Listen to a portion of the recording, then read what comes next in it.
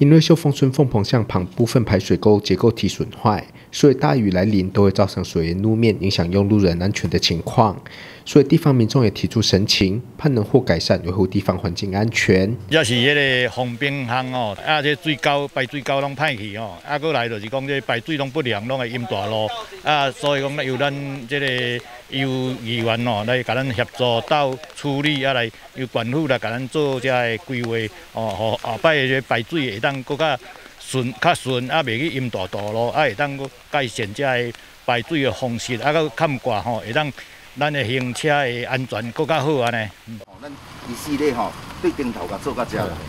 吼安尼较较好看，啊较袂水讲吼，啊啊这边做，迄边无做。路国乡民代表林江宏也指出，凤凰巷出入人潮众多，所以用路安全极为重要，希望县府能够重视，协助改善排水问题。这条这条道路吼，头五十七线吼，是往甲咱吉林潭这里，吼啊 顶头有一个，吼咱迄个。诶，露营区，吼啊，游客嘛真济，吼啊，希望管府方面吼，会当到三角啊，到五十七线方平啊，啊，会当吼啊，甲这一寡排水的困难吼，也袂出去吼，会当帮忙做好。县院友好也希望透过会看行程，县府能够重视地方需求，并广纳乡亲建议，减速来改善风棚巷排水问题，以保障用路人安全。